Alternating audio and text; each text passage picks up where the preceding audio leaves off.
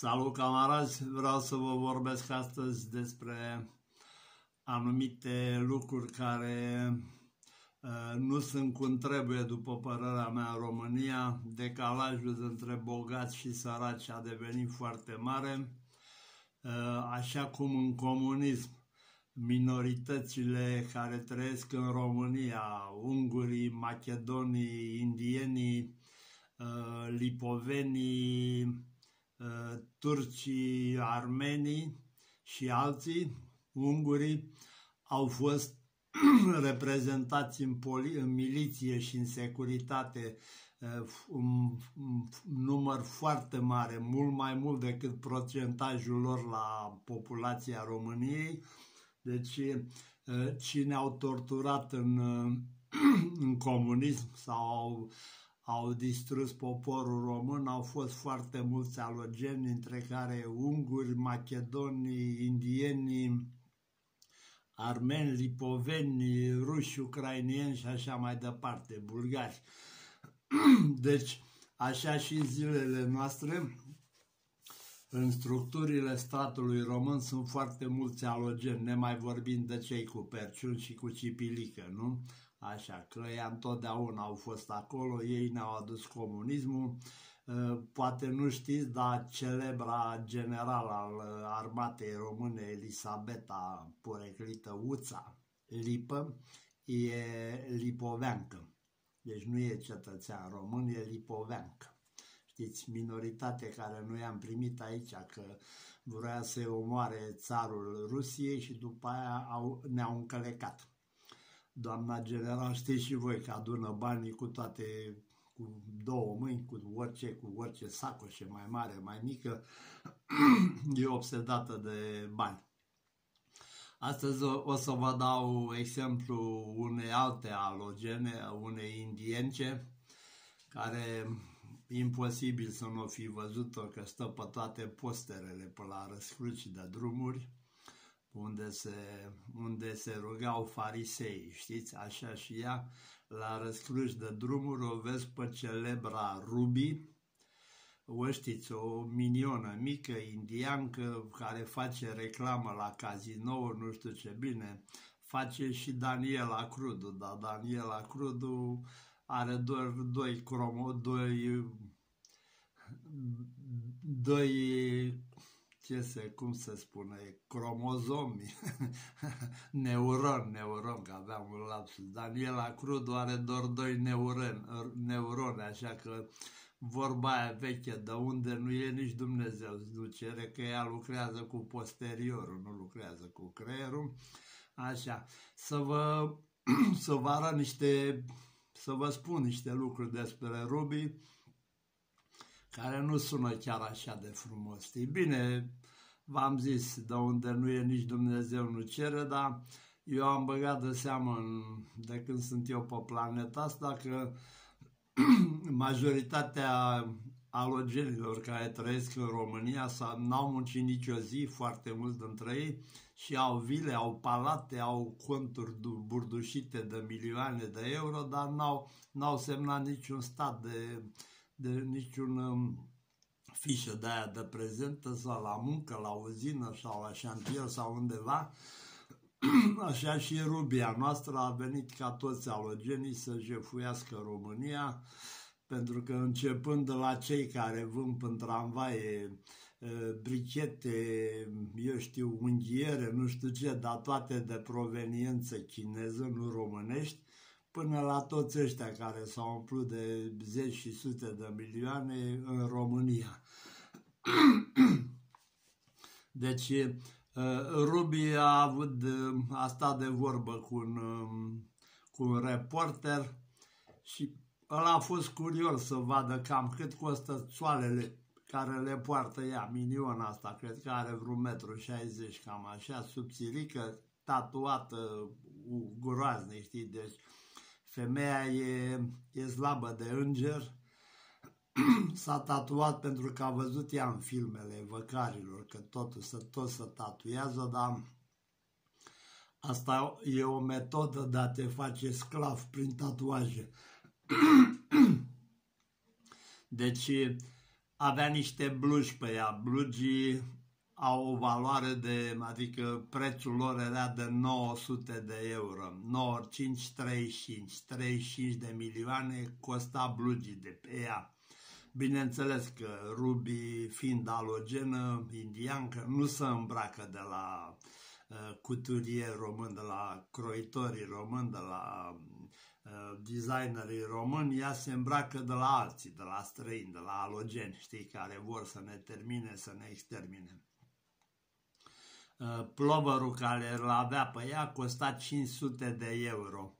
500 de euro, 5 nu, am greșit, blugii erau 995, 45. Deci 45 de milioane blugii, plovărul 500, 500 de euro, 5, 5 ori 5, 25, 25 de milioane, știți? Deci, ce să zic, Ruxandra noastră, moderatoarea noastră, muncește pe în jur de 500 de euro și Ruby a plătit numai pe un plovă 500 de euro. Vă dați seama, fiind femeie și așa zisă vedetă, vă dați seama că le ia, le poartă de două, trei ori, le aruncă în dulap și le uită acolo și cumpără altele, pentru că și Ruby e obsedată de, de cumpărături, are bani mulți, nici nu vrea să-i numere ca să nu apuce capul, deci aruncă în prostie pe orice, știi? Cine câștigă mult, aruncă și mult afară, dar aruncă inutil, știți? Nu că îi trebuie neapărat. Sandale de 800 de euro aveam, picioare tot așa, de firmă, bineînțeles. Ea se îmbracă numai de firmă și numai de la străini, nu de la români. Deci sandale 8 ori 5, 40, 40 de milioane sandalele.